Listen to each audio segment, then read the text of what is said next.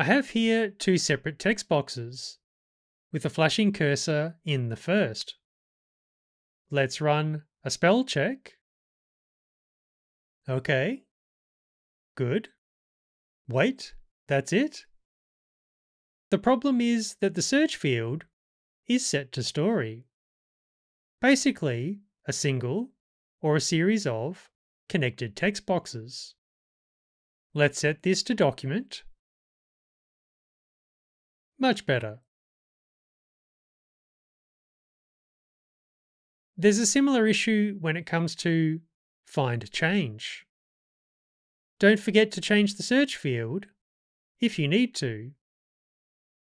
There's also a series of options here you might want to explore. I hope that helps. Catch you later.